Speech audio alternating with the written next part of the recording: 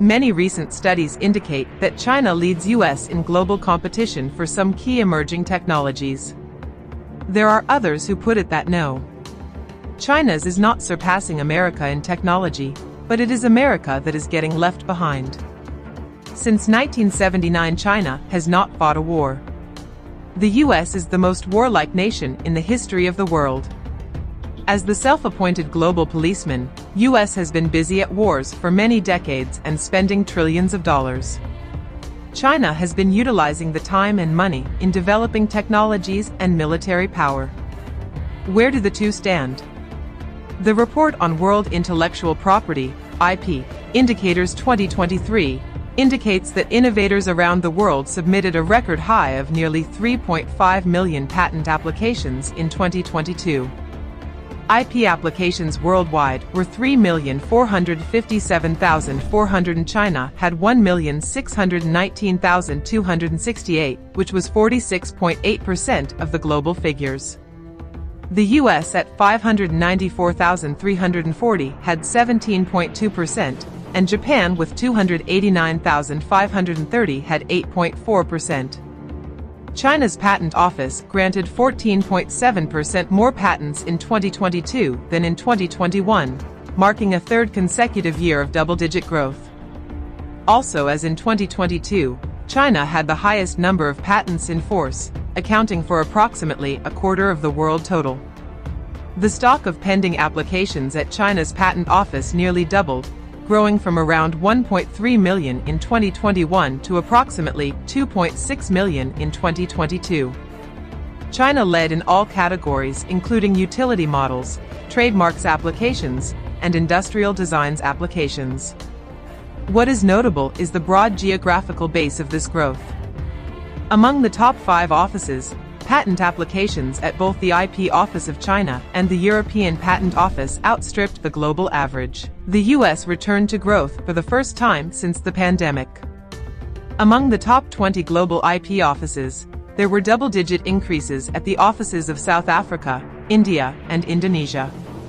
For India, this is the sixth year of growth in a row, with patent filings surging by a quarter in 2022, the fastest increase since 2005.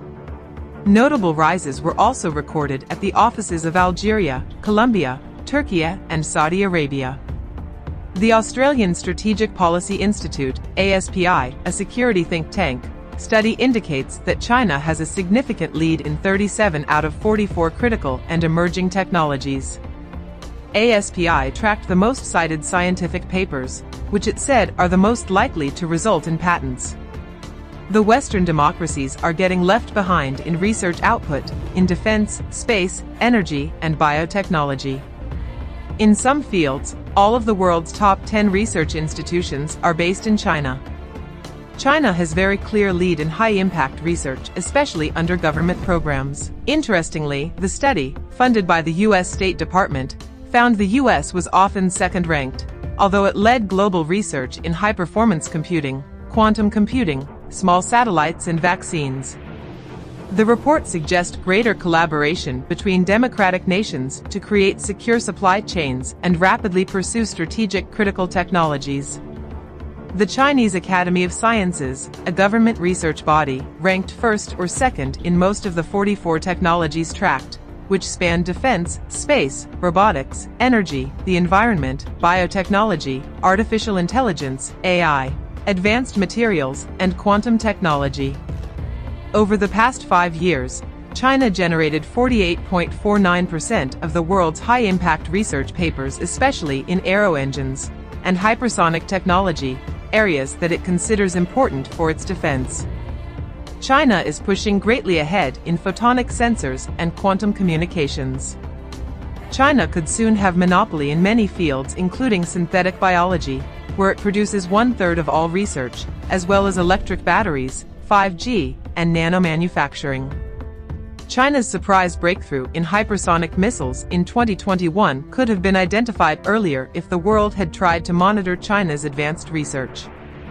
West continues to claim that Chinese diaspora has been a significant contributor, and China's research is greatly backed by knowledge gained overseas. While that may be true, but China has been spending huge amounts in backing academic research. A large number of students are enrolled in high technology domains. In the 1980s and 1990s, the Chinese government launched the 863 Plan and the strategy for rejuvenating the country through science and education, which greatly promoted China's science and technological progress. The 863 program was funded and administered by the government to stimulate the development of advanced technologies in a wide range of fields so as to make China independent from paying for foreign technologies. Later China's 973 program, the National Basic Research Program was meant to achieve technology and strategic edge in various scientific fields and especially the development of the rare earth minerals industry. The development of key strategic technologies plays a vital and consequential role. By 2049, China aims to emerge as a global leader in three strategic technologies, identified by President Xi Jinping as critical for China's national rejuvenation, space, AI, and quantum communications and computing. Rare earth elements, a group of 17 metals, are used in defense technologies, including missiles, lasers, vehicle-mounted systems such as tanks, and military communications. They are also used in computers, televisions, and smartphones, along with various clean energy technologies. At present China produces 60% of the world's rare earths, but processes nearly 90%, which means that it is importing rare earths from other countries and processing them. This has given China a near monopoly. The US has been aware of this vulnerability, but has meaningfully acted only in the last few years. State-owned Chinese enterprises are acquiring lithium, cobalt, nickel and other metal deposits around the world to create the basis for large-scale manufacturing of lithium batteries. The Chinese semiconductor industry, including integrated circuit design and manufacturing, forms a major part of China's information technology industry. China is currently the world's largest semiconductor market in terms of consumption and represented 31.4% of worldwide final sales or $180 billion out of $574 billion in 2022. US still makes billions in China chip sales. However, a large percentage are by multinational suppliers. The US is lagging behind in high-speed rail and solar energy. Some blame it on US's strong aviation and automobile industry and lobby. China needs to move 1.4 billion people, many of who cannot afford air travel. Global experience shows that high-speed rail is more convenient and comfortable than flying for travel distances within 800 kilometers. China's aviation industry still depends on West. China also has little oil and natural gas. Similarly, the US is the world's largest producer of fossil fuels and controls global energy markets. The only impetus for Americans to develop clean energy comes from environmental groups and political commitment. Lastly, China's decision-make is more with Communist Party than lobbies. The US was the innovator of electric vehicles, EV, and Tesla Incorporated is the clear leader in this field. Yet among the top five EV companies, two today are Chinese. Former US President Donald Trump had publicly opposed electric vehicles. 8 million EVs were sold in China in 2023.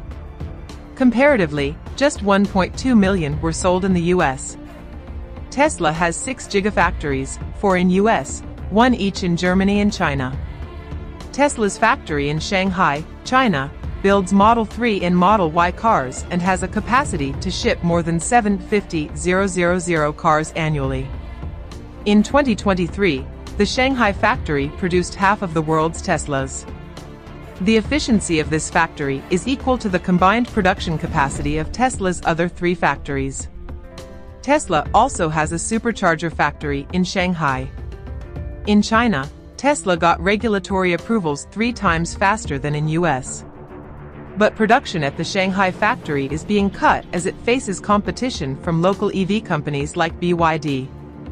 But currently, Tesla relies on Chinese companies for most of its batteries. China accounts for 68% of the world's high-speed charging stations, which are run by state-owned enterprises which do not need to pursue profits. In China, electric vehicles are given priority for license approval. 6G, 6th generation wireless, is the successor to 5G cellular technology. 6G networks will be able to use higher frequencies than 5G networks and provide substantially higher capacity and much lower latency. China has made significant strides in the telecommunications industry and is planning to become a global leader in 6G technology. China has already launched an experimental satellite to test terahertz signal transmission, a step towards 6G. It is projected to cement the long-awaited Internet of Things, IoT, future. According to a joint survey conducted by Cyber Creative Institute and news media company Nikkei Asia, 40.3% of the 20,000 6G global patents belong to China. The US ranks second, with 35.2% of the filings. China is thus a strong contender for mastering 6G technologies before everyone else. China has nearly caught up with US in space technologies and is fast increasing its numbers and capability in space. China is still about a decade behind the US in military and civil aviation technologies. China just inducted the third aircraft carrier, US has 12 supercarriers. China continues to struggle with aero engines. Chinese universities charge about $1,000 per year and even at reduced income levels, is highly affordable. Public universities in the U.S. charge $12,000 to $30,000 per year. Percent of college students in science engineering technology is 40% in China versus 15% in U.S. Percent of foreign students in U.S. university technology science engineering graduate programs is 75%. The scale and speed of China's recent technological advancements have raised concerns in the West. For U.S., other than economic and security concerns, there are fear that rise of an autocratic closed society would impact on liberal values and global good governance. As the Chinese technology market increasingly decouples from those of the US and the West, China could start setting divergent norms and standards, thus dividing the global technology segment that was hitherto dominated by American set standards. China's technological investments are guided by desire to expand international influence and enhancing military capabilities. China's cost of research and production remains lower and thus its products can compete with advantage in underdeveloped and emerging markets. US wants to hold on to its leading position, but does not have an autocratic government push, and depends more on private enterprise innovation. The U.S. Department of Defense, DoD, needs to get its act right and drive innovations through focused research and funding. What options must U.S. adopt are varied and complex. Sustaining the status quo is not considered tenable. The U.S. has begun taking measures to guard sensitive technology leakages. America has ability to develop democratic coalitions to accelerate innovations larger population, smart people, lesser salaries, are some of the advantages China has. Interestingly, unlike US, China pays much more to engineers than doctors and lawyers. The smartest Chinese students go into engineering. China has a strong technology interested in leadership. The Chinese Science Academy and Chinese Engineering Academy report directly to the President of China and advise him when necessary. China has been building the equivalent of almost one university per week. They dominated the graduate market. China produced 4.7 million STEM graduates a year. Nearly two-thirds of Silicon Valley tech workers are first generation, that means they are immigrants. China graduates eight times more STEM students than the US, India four times, and Russia, with half US population, graduates as many as US policies to restrict Chinese students have still to take effect. The percent of GDP from direct manufacturing is 18% in US versus 40% in China. China is ahead of the US in producing renewable energy, has the world's fastest supercomputer, Tianhe 2, and dominate in AI applications. China may have developed a quantum radar that can spot stealth planes. The global impact and reach of American companies like Nvidia, Amazon, Apple, OpenAI, Boeing, Lockheed, Microsoft, Meta, TSMC, Tesla and Google shows clear U.S. technological innovation advantage. Compare this to top Chinese tech companies Tencent, Huawei, Alibaba Group, Pinduoduo, Meituan, Baidu, BOE Technology, and SMIC. While China has a large number of AI scientific articles and patents, the US maintains a strong foothold in advanced AI developments. Clearly the US companies have much higher global presence and visibility. Yes, when it comes to the number of patents, academic publications, leading educational institutions, or multi-billion dollar companies, China is catching up or overtaking. The competition is a multidimensional and involves technological, economic, military, and political elements. The US has a penchant for turning research into impactful, scalable innovations. Meanwhile, China's advantage of younger and larger demography has also started withering. China and Chinese companies talk of decades ahead plans. Most American companies mostly look at three to four quarters ahead. Single party, China also has better continuity in policies. 2,500 years later they still follow Confucius and Sun Tzu. For centuries, China has been the most populous, prosperous, advanced society. Chinese people think that last two centuries of British and American dominance has been an aberration. The Chinese reform since 1978 rank as one of the most extraordinary economic transformation in history involving industrialization, marketization, urbanization, and globalization all occurring at the same time.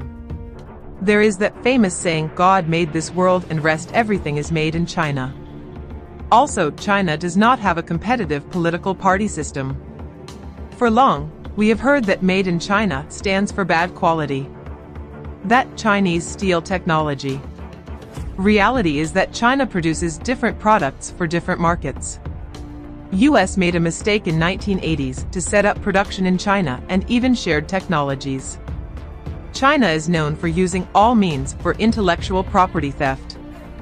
Many countries are considering visa screening to limit illegal technology transfers and instead favor international collaboration with allies. Also put in place actions to stop the illegal transfer of technology to China. US has for long enjoyed being the sole superpower. It started taking its position for granted and gone into slumber. China is going to make that change. It is a wake-up call. In some ways, the competition between the two tech giants is healthy for innovation. Multipolar world has its own advantages. The writer is former Director General, Center for Air Power Studies. Views expressed in the above piece are personal and solely those of the author. They do not necessarily reflect Firstpost's views.